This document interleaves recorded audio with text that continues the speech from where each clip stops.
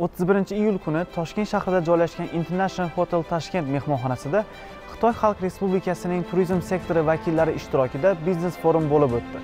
Mazkur forumda o'zbekistonning turizm salohiyatini xitoyda targ'ib qilish va o'zbekiston xitoy turizm sanoati vakillari o'rtasidagi ishbilarmonlik aloqalarini mustahkamlash kabi masalalar muhokama qilindi.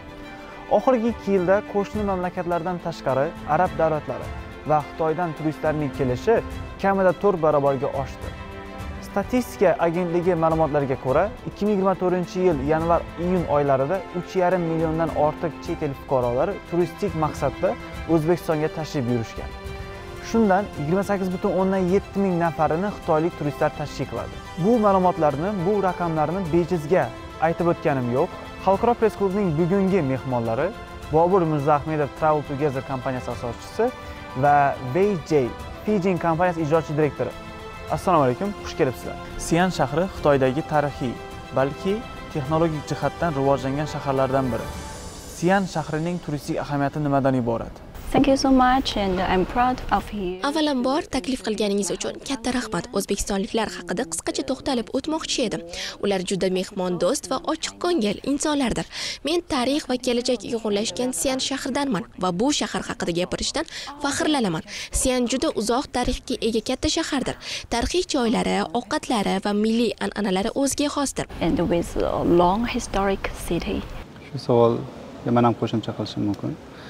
Ya'ni e, sian shahri e, xitoyda e, nima deydi turistik hablardan biri deb hisoblasak ham bo'ladi bizda xitoyga tashrif buyurayotgan turistlar soni misol uchun o'tgan yili qirq ikki mingtani tashkil qilgan bo'lsa mana bu bu yil olti oyni ichida o'ttiz mingga yetgan.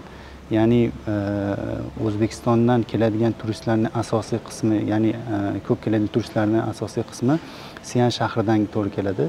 Sababi xitoydan to'g'ridan to'g'ri reys. Faqat hozir e, pekin shahridan urumchi shahridan sian va chendu shahridangina o'zbekiston bilan bog'lab turuvchi reyslarimiz mavjud. Turistlarga bu juda ham muhim hisoblanadi. Sababi to'g'ridan to'g'ri reys bo'lmagan shaharlardan turistlar kelishi ularga ham vaqt masalasida ham moliyaviy jihatdan to'g'ri kelmaydi. Shuni e, shu jihatdan ham e, sian shahri e, bizga tashrif buyuradigan turistlarga juda muhim shahar hisoblanadi. Hozirda juda katta targ'ibot ishlari ham olib borilyapti sian shahrida. Kechagina samarqand viloyatidan ham yigirma beshtalik katta delegatsiya viloyat zam hokimi tomonidan delegatsiya tashrif buyurgan. Hozir ham o'sha yerda ular e, samarqand turistik e, imkoniyatlarini sian shahrida e, tur firmalariga o'zlari namoyish qilib borishyapti. Umumiy qilib aytganda sian o'zbekiston bilan xitoyni bog'lash uchun asosiy markazlardan biri hisoblanadi. In general, actually Chinese people knows Uzbekistan now. Xitoyliklar O'zbekiston, umuman mamlakatingiz va bu yerda yashovchi fuqarolar o'zbek xalqi haqida, uning urf-odatlari, an'analari haqida juda ham ko'p ma'lumotlarga egadir. Stories between Uzbekistan and China. Albatta, Xitoy juda katta bozor. O'zbekiston ayni o'sha Markaziy Osiyo, Xitoy Markaziy Osiyo Xitoy uchun yangi bozor hisoblanadi. Ayniqsa mana oxirgi ikki yil ichida o'zbekistonda e, xitoyda e, targ'ib qilinishi oqibatida yangi reyslarda qo'yilishi oqibatida ya'ni natijasida e, turistlar soni oshib boryapti. Lekin hali haligacha ma'lum bir provinsiyalarda o'zbekiston haqida tushunchalar kam bo'lishi mumkin. Bu bo'yicha hozir e, bilishim bo'yicha turizm qo'mitasi ham e, yangi yangi provinsiyalarda e, o'zbekiston turizm salohiyatini targ'ib qilish bo'yicha keng ko'lamli ishlar qilib borishyapti. Biz qayerdan bilamiz? O'tgan yili ikkita targ'ibot tadbirlarida o'zimiz ham qatnashganmiz. Ulardan biri o'sha shanxayda xalqaro turizm yarmarkasida o'zbekiston turizm Э, stendini tashkil qilinganda э, bizni firmamiz ham travel together firmasi ham э, o'zini stendi bilan qatnashib xitoylik ko'p e, tur firma vakillari turizm e, e, vakillariga o'zimizni produktlarimizni tanishtirganmiz. Ya'ni ko'p tur firmalar uchun bu juda nima deydi yangi yo'nalish yangi nima deydi turistik markaz sifatida ularga targ'ib qilganmiz. Xitoylik turistlar o'zbekistonga tashrif buyurishganda qanday muammolarga duch kelishadi? Gid xizmati e, bo'yicha e, transport avtobuslarda yetishmasligi yoki o'sha sifatli avtobuslarni kamligi desak ham to'g'riroq bo'ladi. Va undan tashqari temir yo'l chiptalarini ayniqsa o'sha afrosiyob temir yo'l chiptalarini e, xarid qilishdagi ozgina muammolar. Bu muammolarga yechim sifatida yaqinda o'sha prezidentimizni farmoni bilan bu muammolarga yechim topib berildi. Ya'ni e, avtobuslarga e, turistik turistik firmalarga e, avtobus olib kelishlarida bojxonadan ozod qilinishi.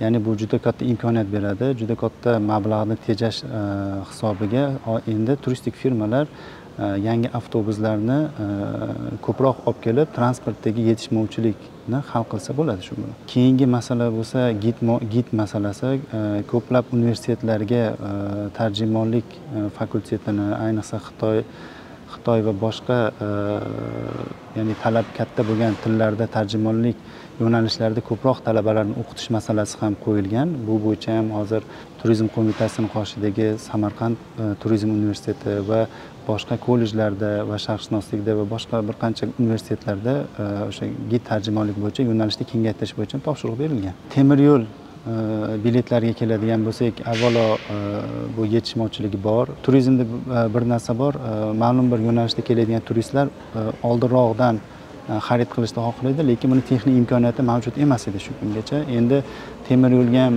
topshiriq bo'ldiki o'sha yangi farmon bo'yicha platformani takomillashtirish e, orqali e, o'sha turistlarga olti oylab kelsa uzoq muddatdan oldinroq biletlarni xarid qilish imkoniyati yaratilishi topshiriq qilib qo'yildi. Hozirda e, xitoydan tashrif buyurayotgan turistlarni kutib olishda biz o'zimizni firmamiz oladigan bo'lsak mana bu oyda ham ikki yuzdan oshiq xitoydan turistlarimiz tashrif buyurgan e, may oyida ham iyun oyida ham ikki yuzdan ikki yuz ellik atrofida turistlar tashrif buyurgan bo'lsa iyul oyida bizda turistlar kelayotgan turistlarimiz soni kamaygani yo'q. Ya'ni ma'lum bir davlatlardan keladigan turistlar soni e, o'sha mavsumiylikni ham ya'ni o'sha xitoy tomon deyiladimi yoki boshqa davlatlardan turistlarni yangi oqimlarni olib kelishimiz mavsumiylikni ham e, yo'qotishga sabab bo'lishi mumkin. O'zbekiston respublikasi prezidentining 2023 yil 26 apreldagi qaroriga asosan respublikaning turizm salohiyatini jadal rivojlantirish hamda mahalliy va xorijiy turistlar sonini yanada ko'paytirish to'g'risida qaror qabul qilingan. Va bu qarorga asosan hozirgi kunda qanday loyihalar qanday rejalar ko'zda tutilgan? Ushbu qaror bilan e, o'zbekistonga tashrif buyuradigan turistlar sonini 10 millionga chiqarish e, mana xitoydan xitoyni o'zidan keladigan turistlar sonini bir millionga chiqarish bo'yicha topshiriq berilgan. Hozirda mana o'tgan yili qirq ikki mingta bo'lsa e, qirq ikki mingta xitoydan turistlar tashrif buyurgan bo'lsa hozir olti oylikda o'ttiz mingga yaqin bo'ldi. Bu bo'yicha nima ish qilinyapti? Mani xabarim bo'lishicha e, oldin e, ikkita davlat o'zbekiston va xitoy davlatini o'rtasidagi o'zaro avia tashuv bo'yicha kelishuv o'n beshta reys edi bir haftada. Hozir shu reysni e, yuztagacha chiqarish bo'yicha topshiriq bo'lgan. Shu bo'yicha hozir transport vazirligi turizmni rivojlantirish qo'mitasi shu bo'yicha ishlash ish olib borishyapti. Agarda shu ikkita davlat o'rtasidagi aviaqatnovlarga ruxsat berilishi yuztaga yetadigan bo'lsa bu narxlar ham tushishiga olib keladi. Narxlar tushganda e, o'zidan o'zi turistlar sonini ham kengayishiga sabab bo'ladi. Bundan tashqari e, qaror bo'yicha e, o'zbekistonda turizm salohiyatini chet elda targ'ib qilish bo'yicha ham bir qancha bandlar belgilangan. Bu bandlar bo'yicha hozirda katta targ'ibot ishlari ham qilinyapti. Deyarli har haftada biz xitoyni qaysidir shahrida o'zbekistonni turistik potensiali bo'yicha e, prezentatsiyalar yoki ma'lum bir forumlarda e, o'tkazilayotganini guvohi bo'lyapmiz. Bu oqibatida ko'plab tur firmalar turizm yo'nalishida ishlayotgan tadbirkorlar o'zbekiston haqida ma'lumotga ega bo'lgandan keyin o'zbekiston bilan ishlashi u yer e, o'zbekistonga turistlarni ko'proq olib kelish bo'yicha ishlashga harakat qilinyapti. Birinchi o'rinda e, shu paytgacha viza masalasi muammo bo'lgan. E, ya'ni o'zbek o'zbekistonda turistlar uchun e, xitoy faqat turistlar uchun faqat tadbirkorlar boradigan joydek hisoblanib qolgan. Shu narsani o'zgartirish maqsadida mana kechagina xitoy hukumati tomonidan osonlashtirilgan viza rejimi joriy qilindi. Bu narsani o'zgartirish xitoyga faqat tadbirkorlik ko'zi bilan emas tarixi madaniyati o'zini tabiati bilan judayam jozibador e, maskanlar ko'p xitoyda. Shularga ham o'zbekistondan e, o'zbekistonlik turistlarimizni ham e, xitoyga xitoyga o'zbekistonlik turistlarimizga ham xitoyni tanishtirmoqchimiz. O'zbekiston va xitoy o'rtasida qanday turistik hamkorlik loyihalari mavjud? Actually, government now announced the new policy about the port visa. o'zbekiston xitoy yo'nalishida bir yil oldin bizda faqatgina ikkita havo yo'llari kompaniyasi faoliyat yuritayotgan edi va ushbu kompaniya orqali haftasiga oltita parvoz amalga oshirilgan. Asosan ishbilarmonlar studentlar bir qancha kompaniya vakillari to'g'ridan to'g'ri parvozlarni amalga oshirayotgan edi. Lekin bugungi kunga kelib xitoy hukumati ishlab chiqqan yangi siyosatga ko'ra o'zbekistonliklar xitoyga borish uchun to'rt kun oldindan viza olish imkoniyatiga ega bo'lishadi. Bunday imkoniyat oldin bo'lmagan. Bugungi suhbat uchun katta rahmat. Juda muhim mavzular haqida suhbatlashdik. Bobur aka va hurmatli vj kelajakdagi faoliyatingizda va ishlaringizda omad va zafarlar tilayman